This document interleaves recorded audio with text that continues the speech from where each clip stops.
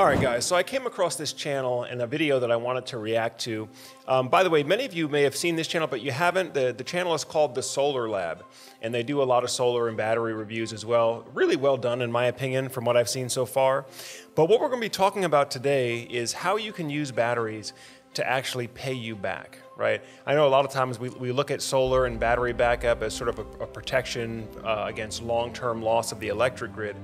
But with the way that utility metering policies are changing, you can actually use batteries now as a profitable investment on their own, even without solar. So in this video, we're going to be looking at the Anker F3800 uh, all-in-one solar and battery system, uh, as well as how you can use that system to maximize your payback with peak load shifting. So let's get into the video. The smarter way to go solar. The biggest problem with portable power stations is that they're expensive. They're something that we believe everyone should have, yet not everybody does because the cost of entry is kind of high. So in purchasing one of these, most people are focused on the cost, how much they have to save up, and then how much they actually have to spend to get it. But what if I told you that there's a way you can actually use your portable power station to earn you money? Saying that makes me sound like a social media guru who's trying to get you involved in some sort of Ponzi scheme, but it's actually true. So today we're gonna break down for you guys how, if you're already in the market for a unit like this Anker F3800, spending a little bit of extra money up front to get something like this Anker home power panel might actually be a really smart move to help you justify the cost. So welcome back to the lab guys. Today we're gonna to be talking about a relatively new solution that we think actually makes units like this F3800 more accessible. You might already be in the market for a unit like this for portable power, emergency backup, but these two things together can actually help you shave a nice chunk of change off your electricity bill. If you're not already familiar with either of these products, the Anker F3800 is a relatively new portable power station. This thing has a 3800 watt hour battery. It has a 6000 watt inverter. It can do 120 or 240 volts directly out of the unit. It has up to 2400 watts of solar input if you use Anker panels. And it has some great surge capabilities and overall functionality. We've put it through tons of testing here at the lab and we've been generally really, really impressed with this unit. And this guy is the Anker home power panel. This is designed to go between the main panel in your house and a sub panel. This allows you to integrate the F3800 with your utility grid and solar power in comparison to using just like a manual transfer switch. This guy allows you to pair two F3800s together, which doubles your inverter up to 12 kilowatts. And it has a 20 millisecond switchover time versus a manual transfer switch having to actually physically go and turn it on. Yeah, no, I think that's important too, having that parallel connection built into the power panel because in order to get the full benefit of this for electric bill savings or for self-consumption, you're gonna wanna have enough power on your battery system that it can carry the heaviest loads in the house, the largest energy consumers, which for most of you is going to be your HVAC, your, your air conditioning compressors. So a single 6,000 watt unit is not gonna be enough to run some of the largest four and five ton air conditioning units. So having that dual, dual inverter or dual battery parallel capability should allow you uh, to run those uh, larger air conditioning loads and therefore be able to uh, self-consume solar and battery power for those loads, i.e. not having to purchase any electricity from the power company to service those items. Let's continue. So you won't even notice the power go out if you have this thing set up properly. It integrates really seamlessly into Anker's ecosystem. You can access it from the app and change and control a bunch of settings from there. And it also allows you to take advantage of off-peak rates, which is what we're mainly gonna be focusing on today. Most people buy portable power stations and charge them up and then they just leave them sitting around in a closet waiting for the power to go out. What they don't realize is that every day that goes by, they could be using that power station to actually save them some money on their electricity bill. And this is called peak shaving. Peak shaving in its most basic format is basically just taking the low cost of the utility during the nighttime, which is typically about half of it during peak hours, charging your power station with the low cost. And then during the peak hours of the day, when the electricity is at its most expensive point, you use the power from your power station instead of your power from the grid which you previously filled when the electricity was at its lowest point. Exactly. This is very well explained, by the way, especially for a novice viewer. I think it does a very good job of breaking this point down very, very clearly. Now, the reason why this is even part of the discussion right now is because many of the utilities, particularly in, in places like California and Arizona and Texas, many of the utilities are going away from a simple flat retail price per kilowatt hour regardless of whatever hour of the day uh, you, you consume that power, they're moving to more of a time of use metering. So if you're consuming electricity during peak demand hours, which tends to be late afternoon, early evening, when your air conditioning and your, your cooking loads are, are working the hardest, you're gonna pay a higher rate of electricity during those peak rate hours. It's, it's simple supply and demand. During the times when more electricity is being demanded of the grid, they're gonna charge you a higher price to consume. After midnight or in the middle of the night, when the demand is lowest, they charge you a lower rate. And so, because of that, there's this opportunity now for arbitrage where if you can, let's say, consume from your battery during peak hours, so avoid buying anything during those hours, only do your buying from the power company on off peak hours, which tends to be in the middle of the night when the load or when the demand on the grid is least, then you can take advantage of that delta. And that's what he's going to explain here. Let, us go back to the video. So you're shaving that difference between the peak and the off peak hours off of your bill, basically bringing your your electricity bill to always off-peak pricing. And so how the home power panel does this is you can go on the app and you can actually set time of use rules. So you can tell the home power panel at what time to accept AC power uh, to charge the F3800 and at what time to accept the F3800 to then deplete its battery and power basically anything that you have on your sub panel. And so you can pretty much hands off schedule this home power panel and your F3800 to hopefully come really, really close to shaving all of the peak hours off of your bill and having it only be off peak hour rates. Now, of course, the other part of this equation is if you have solar tied in with your battery system, you could have it to where it's it's never pulling from the grid to charge the battery. You just wait till the next day where the solar panels can recharge the battery and hopefully especially if you're doing a self-directed solar and battery installation, you're probably going to get a much cheaper price from your own solar generated electricity than even if you had to buy from the utility on off-peak hours. Uh, I know that part of the, the message he's trying to get out here is that, hey, look, just a battery by itself can save you money, but if you're gonna go through all the trouble, I would say hook some solar capacity to it as well. Uh, in that case, you can really use the utility company as the power provider of last resort only.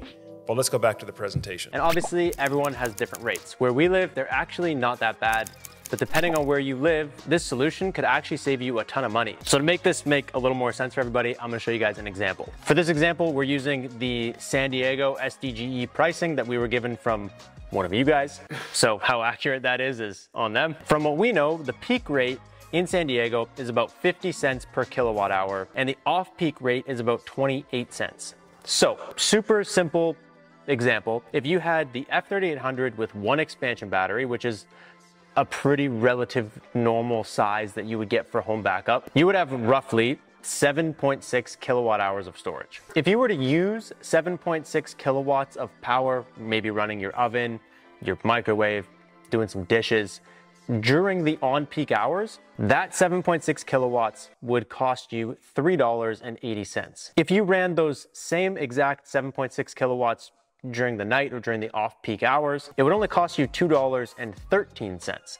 So you'd actually save about $1.67 by just using that small amount of electricity at a different time of day. So if you told the home power panel to charge the F3800 during the nighttime when the electricity is 28 cents, and then during the peak hours of the day when the electricity is 50 cents, you told the home power panel to then disperse that power out of your F3800 it would be dispersing power that you paid 28 cents for instead of you paying 50 cents to access that same power at that same time, which basically just shaves off 44% of the cost of that on peak electricity rate. And that might not seem like a big number, but over the course of a month, that's $50.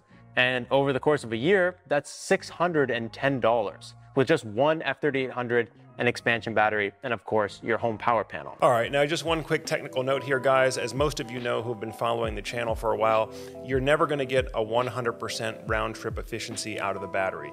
So the, the simple math and the example that he's showing here, uh, in concept, it, it's right, but you're never going to get 100% of the energy out of the battery that you charge into the battery. There's always a little bit of conversion loss. Uh, and a lot of it shows up as heat. You might even feel, feel some warmth coming off the battery when your battery is being charged or when it's being discharged. That warmth or that heat is energy that's being lost in the conversion process. So I would say best case scenario, you're going to get about 95% of the energy that you put into that battery when it comes time to pull it back out. Other batteries are less efficient, but I would say, you know, 90, 95% uh, is, is about what you can expect in terms of round trip efficiency. Let's finish up. Now what's really cool is this home power panel, as of the time we're filming this video, is about $1,200. So if you were to save $610, you can actually pay this thing off within two years. And after you've paid it off, you're basically just earning money from that point. You were already going to invest in the F3800 and the expansion battery, so anything else is just gravy. And obviously the F3800 has a solar input, so if you were to do this with panels and just use one F3800 with an expansion battery, you would actually save almost $1,400 because you wouldn't have to pay to charge it during the night. And like we said, the more you expand, the more batteries that you actually add to your system, the quicker you're gonna pay this off. So if you were to have two F3800s with two expansion batteries, you would have a total of 15.3 kilowatt hours roughly. If you were to do the same thing, charge that 15.3 kilowatt hours during the off-peak hours, 28 cents, and disperse it during the peak hours when the electricity rate is 50 cents, you're gonna actually save $3.38 a day, which becomes $102.73 a month which becomes $1,232.73 a year. So at that rate, if you were already gonna buy two F3800s and two expansion batteries, you earn back the value of what you paid for this within one year. You now have seamless, uninterrupted backup power. You can access everything. There's a, a huge list of pros that comes with this home power panel. And you just got all of that basically free. Yeah, the guy makes some excellent points here, especially for markets like San Diego, where there's such a pronounced difference between the on-peak and the off-peak rate. I mean, where I live here in South Carolina, we're still spoiled. We have cheap power, 12, 13 cents per kilowatt hour, regardless of what, what hour of the day we consume it. But in markets like San Diego, uh, Northern California, where you're seeing rates in the 40, 50 cents per kilowatt hour, uh, and, and, and huge deltas between the on-peak and the off-peak rates, I think this just makes sense. But frankly, guys, guys, you know, I, have always been one of these guys that says, look, this is about being energy independent. It's not that buying batteries is, is this great investment, but if you run the numbers, especially in markets that have high electric rates, there is a considerable financial return on investment here on top of the, the security and the peace of mind that you get of never being without power within your home. So at the end of the day, the savings on a F3800 with an expansion battery and the home power panel don't blow your socks off. They don't knock anybody off their chair. But if you're already spending money on a power station with an expansion battery or even just a power station, the additional cost to get the home power panel is actually in our opinion, very valuable. It pays itself off relatively quick. It actually integrates with your home really, really nicely. And now you're gonna be able to do a ton more and a lot more reliably because you have the home power panel. And just a lot of people don't simply just don't understand the benefits of something like the home power panel or understand at all what peak shaving even is. All right, guys, so that pretty much wraps it up for today's reaction video. Again, we're talking about how you can use an all-in-one solar or battery system to actually pay you back by doing peak load shifting. Uh, hey, by the way, guys, if you enjoy these reaction videos, go ahead and post a comment below, uh, especially if you have other videos or other channels that you've been following the content and you'd like to get solar surges, you want, you want to get Joe's take on it, uh, go ahead and post a comment with a link to the video down below and we'll work on getting that back out to you. Uh, of course, if you're in the process of looking at different solar and battery storage options for your home, um, if you need to get a price quote, whether it's for a, a pro install or if you're looking for a system like this, an all-in-one system that you can purchase off the shelf and do most of the installation yourself, uh, as always, feel free to reach out to us on the link below there. It'll take you to the Solar Surge website where you can either set up a call with a solar expert uh, or just shop on the Solar Surge store where we've got a number of the leading all-in-one solar and battery systems available. Well, that pretty much does it for today's video. Uh, as always, I'm Joe Ordia here, encouraging you to get prepared and be empowered. Thanks for watching, and I'll see you on the next video. All right, I hope you're getting some great value from today's video content. Now, if you would like to have your business or product or technology featured on the Solar Surge channel, we can help you do that. Feel free to use the link below to set up a call with our media team so that we can discuss your marketing goals and how Solar Surge can help you get there. Solar Surge is the leading online community in the U.S. residential solar and energy storage space. And so, if you would like to have your business or product or technology introduced to our audience, we can help you do that. Uh, again, feel free to reach out to us on the link below to set up a call with our media team or email media at solarsurge.net.